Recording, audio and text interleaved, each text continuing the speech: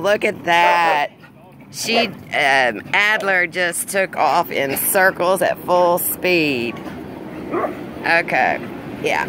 I think, yeah, she needs property. This is, um, she needs property. She's, uh, he, he, he. Um, what a great dog.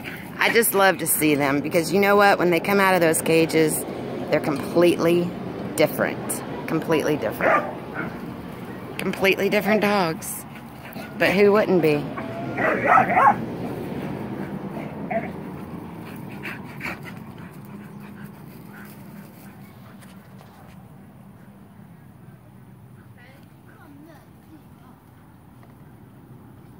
Somebody got excited and had to go poo-poo. Good boy. Good boy, Adler. Come here. Come here. Hi. Good boy. Yeah, he still cowards if you pet him on top of his head.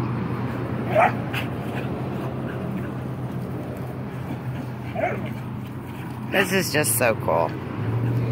You know, I, I'm not able to actually, I can, but I don't want to take the risk of getting the dogs out here myself. So when people are here, I just want them to alternate the dogs every 30 minutes or so and let them have some playtime. So I really want to get Adler fostered, adopted.